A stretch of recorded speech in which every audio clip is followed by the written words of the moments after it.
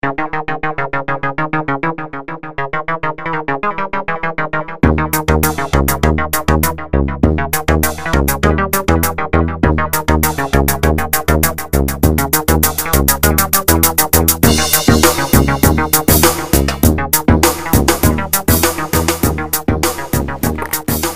again.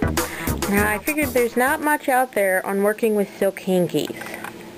This is a standard size one hanky, but it's made up of many, many layers. These layers are actually one cocoon that's been stretched out. And I'm doing this as I'm looking over the screen of my camera and I don't know if I can do it. uh, that's why it's the wrong way. Okay, here we go. Now what you want to do is you want to try to get off the thinnest layer of silk and just pull it right off. And it should come off real easily. So then you're left with this.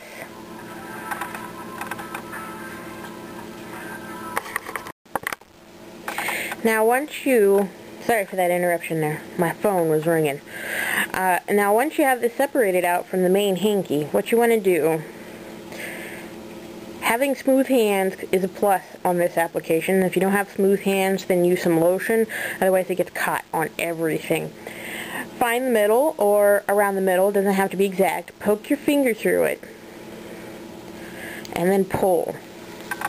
And keep pulling until you got a piece that you want the average size to be. Now that's that's pretty small there. So I'm not going to stretch that part anymore. So here's a bigger part and you just take it and you just stretch it between your hands. And you just move along it and stretch. Pulling apart. You want to do it slowly because if you do it too hard then you're more than likely going to pull it apart. And you don't want to pull it apart just yet. Whoops. See? Just like that. I pulled too hard. So, okay. That's what the ends look like. Okay, I'll just release that one.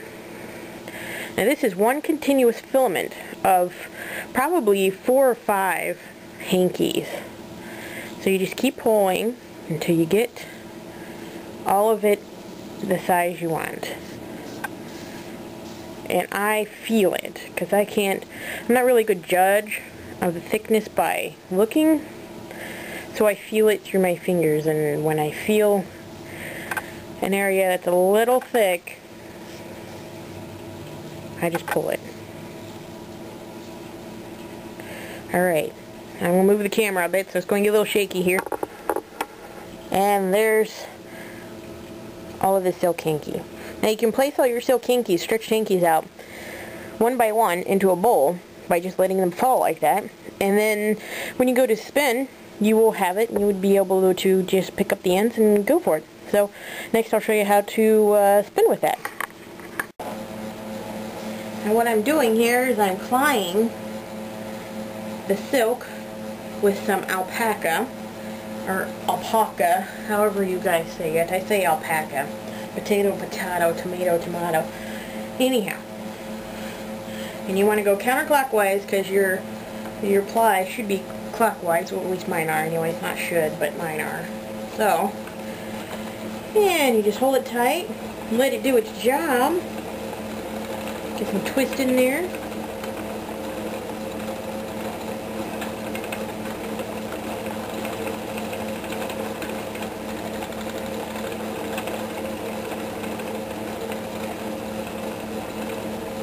And if you're sitting there watching me and all you're saying is, wow, you're fat, gee, thanks for noticing, but um, I've already noticed that, so please don't leave some nasty comment.